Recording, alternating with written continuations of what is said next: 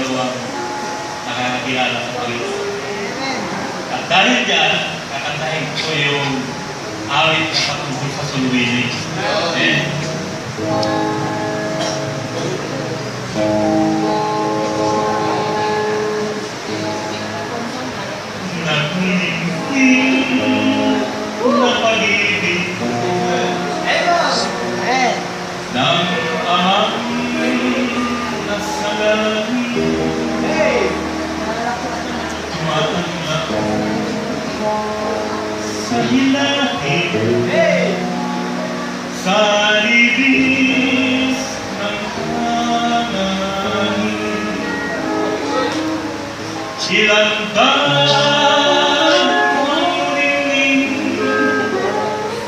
sa iba yung pampanig ang taong nasa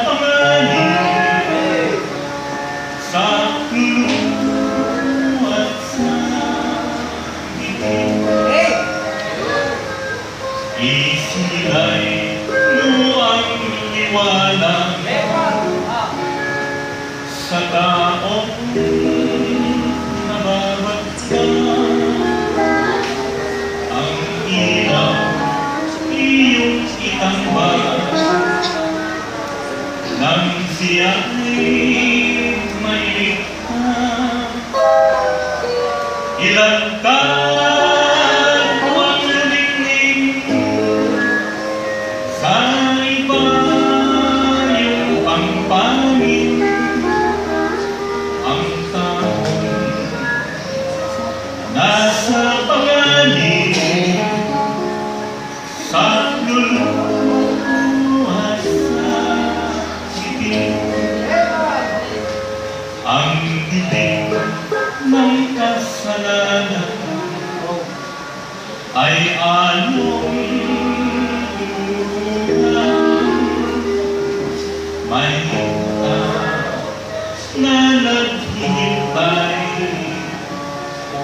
nang siya'y mailigtas.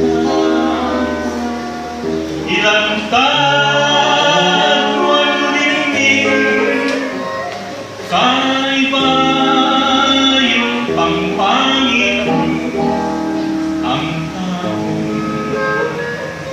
Nasa panganib sa